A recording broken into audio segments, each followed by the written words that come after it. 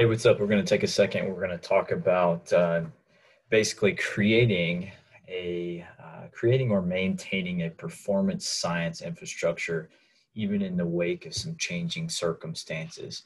So, just kind of if you think about what performance science is, you know, it's not the reliance on, on technology. It's it's certainly not the, the the singular reliance on on any one system it's it's a, it's a mentality it's a philosophy of using information in different streams of data uh, to make educated decisions. You know data can come from a lot of different uh, sources. It can be quantitative in nature from an athlete wearable. It could be uh, quantitative in, na- in nature from me collecting metrics from uh, from from observation and tallying it could be uh, qu- qualitative in nature. So me um, uh, simply uh, tracking information and just qualitatively assessing an athlete and keeping that information over time. So basically, that's the root of everything that we're doing. So when we think about the infrastructure of what performance science is, especially here at Penn State, you know, it doesn't have to change that dramatically, even if things um, may look a little bit different in regard to group size, the way we train, even the way we coach. So I want to kind of run down a couple different things here, especially as it pertains to us. And I want to really think about focusing on the infrastructure. If we think about the infrastructure, everything else will really uh, fall in hand as we move forward. So the first thing I want to think about is uh, just daily operations and logistics. As a coach, um, in this current state, you know, we want to always uh, model great behaviors and we want to wear our mask at all times. Okay, that's going to really model the good behavior for our athletes and we can help to hold everybody accountable within the organization. Okay, the second thing, when we're thinking about organizing our groups, there are some differences in uh, group size, training organization, maybe venue, Okay, we need to factor that into our plan and understand how that may play a role in how we normally coach.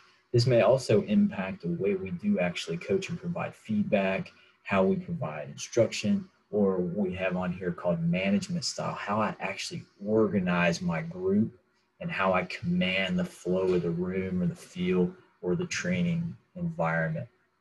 Okay, from experience this summer, think it's um, we in this group think it's really important if your sport relies on a whistle to find a way to practice uh, using your whistle while wearing your mask or gaiter.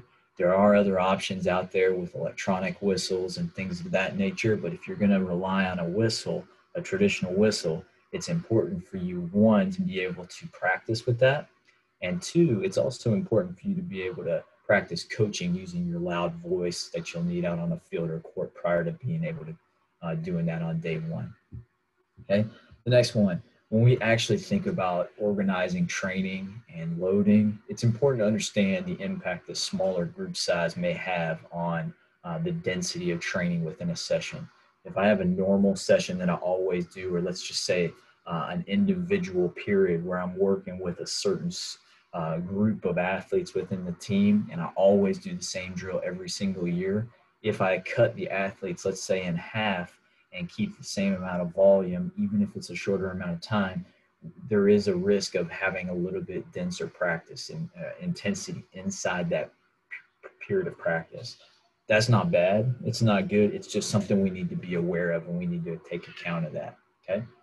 We also need to think about uh, how we care, uh, use our exercises. So different things um, with our schedule may be altered slightly. You know, we may be doing things in a different order per se, depending on field or facility availability. We need to think about how one impacts the other. Getting a little bit more into collection of information. Remember, we're trying to establish an infrastructure. It's not the reliance on one system or one set of information. It's creating an infrastructure of information flow so that I can gather it, sort it, and then make a decision based on that. So the next couple that we're going to talk about are wellness surveys, different forms of athlete wearables, force plate testing, and NordBord testing. when we think about our wellness surveys, many of us have really relied on doing this in person um, through through a lot of our careers. Not only um, do we ensure that we get all of our athletes checked off at, at that period of time, but it allows us to have an, a one-on-one engagement with them from time to time on a daily basis, and it also allows us to really get a feel for the uh, the, the, mood of the organization when we do that. Sometimes you can also have um, like a maybe an iPad at a kiosk when they check in on a day-to-day basis, maybe at the nutrition station. Given the nature of what we're going through, that may not be an option. So some other things that we may think about doing is walking, walking around and, and just encouraging athletes to do it on their own device, using Teamworks or text message to send that out, but then working to follow up, like I mentioned, just being always in communication with our athletes but the days right now of uh, working with a single tablet, tablet and a- asking athletes to use the same device, that may not be the best best method at this point. Okay, athlete wearables. At this point, I think it would be really, really wonderful if we can empower our athletes to set up and break down their own equipment. Okay, so if athletes are wearing different types of uh, wearables on the field, it could be a, a catapult GPS in the backside of their shirt. Um, let's encourage them with the box set up in the locker room. Let's encourage them to put that in themselves and then following practice, put it back in the charge case. If we're going to be using, let's say, blast sensors in baseball or softball, let's encourage the athletes learn how to put them on uh, themselves without having to expend different staff members to be able to do that. Not only does it allow them uh, to become part of the training experience and the monitoring experience, it pushes accountability on them too, and it creates a little bit more ownership in what we're doing. Would also like to stress that no matter what, we want to, if, if it's a wearable and the athletes are coming in contact with it, we want to make sure that we, we clean them thoroughly after every single use. Even if it was just a small amount of time, we want to make sure we're cleaning that, uh, following every guideline that we've been involved with uh, during, during this return to sport during COVID-19. Okay. With force plate testing, consider uh, teaching athletes the jumps at the beginning of the semester, especially if I'm going to do this often. Okay, so just go through the, the jumps or the, the different types of tests that you may be doing um, on the force plate. Teach them thoroughly one time, and then you can basically use feedback and, and corrective feedback through the semester to adjust or, or to give some information if you need to. Would always encourage you, this goes with the NordBord here coming up too, integrate your testing into training as opposed to doing it in isolation. So instead of doing my testing before training or um, at a different scheduled period of time, let's see if we can just integrate it into training. Now, understand that you know sometimes that may um, kind of change the flow of our training session. But if I'm doing some jumps, it's really easy to just put it near the top of my to, to top of my training card, um, following some of my warm up and activation exercises before I get into the big strength lifts. I'm still fresh, I'm already warmed up, and I'm really going to get a good reading there. We want to avoid doing testing toward the end of the lift just because you may be in a pre fatigue state at that point. Okay, but early in the lift, when you're already doing some power movements, just put it in there and it'll really help with the flow of everything. You can do the same thing with NordBord. Okay, so the thing um, that you know to think about with the NordBord is just just integrate it into some of your post chain work. So if you're already doing Nordic curls, let that be one of your sets. If you're already doing some glute ham raises, let that be one of your sets and just integrate it into your training. Would also encourage you, um, if you're a field-based sport, to utilize your NordBord testing on days where you're really not going to sprint after.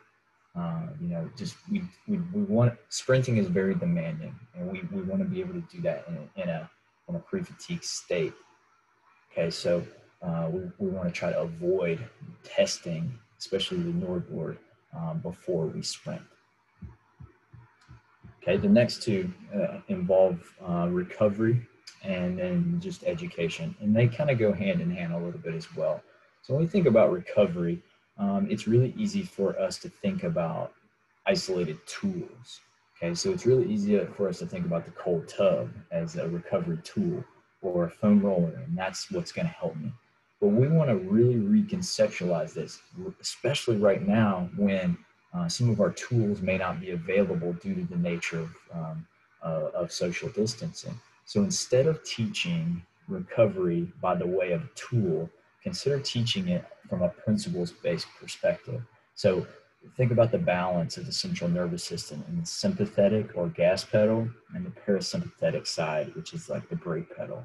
There's a lot of different ways that I can activate and really become sympathetic pre training.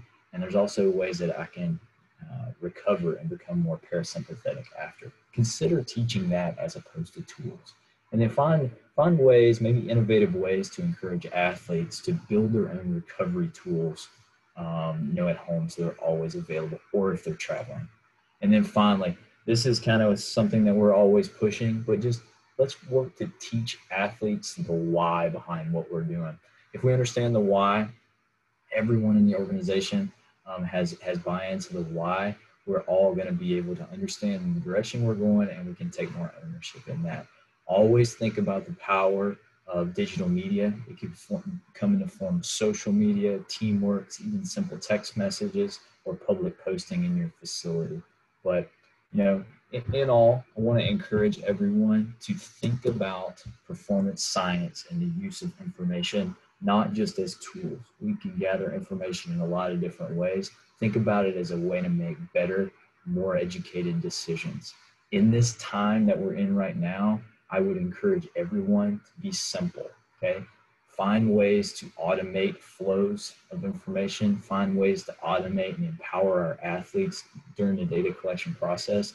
But by all means, be simple, be consistent, and use your information to make great decisions. Thank you guys. Hope everybody's doing well. Can't wait to see everybody on campus here soon. Take care.